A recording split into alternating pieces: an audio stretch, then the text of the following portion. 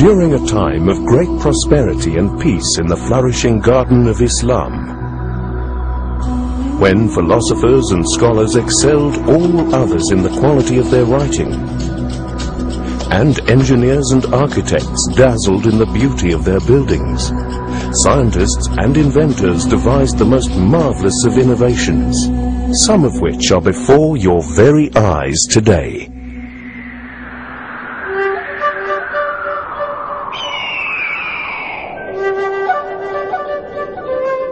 Of all the creatures that surrounded him, man envied the birds most of all. Oh, to soar like that, on the wind, through the clouds, how wonderful to be free. And how impossible. But to certain people, nothing is. Surely, one man dared to imagine, if you studied the birds and fixed their wings to your body, you would be able to fly. But could a flying machine really work? Could a skeleton of bamboo, tied together by silken strips and covered with eagle feathers, strapped to a man's back, actually simulate the intricate gliding effect of a bird's wing?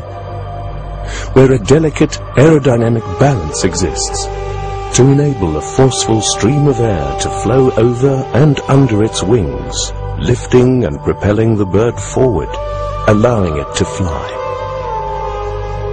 And so the inventor of the flying machine, Abbas bin Firnas, presented himself to the crowds on a hill near Cordoba, Spain, in the year 880, where, as the chronicles recount, he covered his body in a bird costume guided himself into the harness and told the crowd, By guiding these wings up and down, I should ascend like the birds.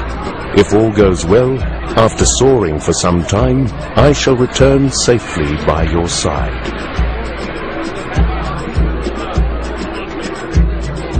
To which he launched himself into the air and by means of ingenious movable tail flaps flew to a significant height for a considerable time and became the first man to fly.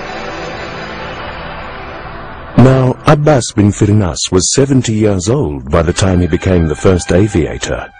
Yet he had, as a poet, astrologer, musician, and astronomer, long been a principal member of the cultural court of the great Umayyad Caliphate in Andalusia, Spain, during the late 800 CE. Its capital, Cordoba, was flowering with scientific invention and artistic ideas. And in this rich, exciting environment, he delighted in the mystery of the unknown, perfecting the cutting of crystals and widely influencing the development of astronomy in Europe. Yet it was his flying machine which astonished his colleagues in the Muslim scientific community most, chronicling him as the man who jumped off the earth. In time, others followed Abbas bin Firnas. The Turkish flyer, Ahmad Chalabi, launched himself over the Bosphorus in the 17th century. Florentine artist and scientist Leonardo da Vinci designed flapping wing machines, gliders and helicopters. Further attempts at gliding, though, were only made two centuries later, a thousand years after Abbas bin Firnas.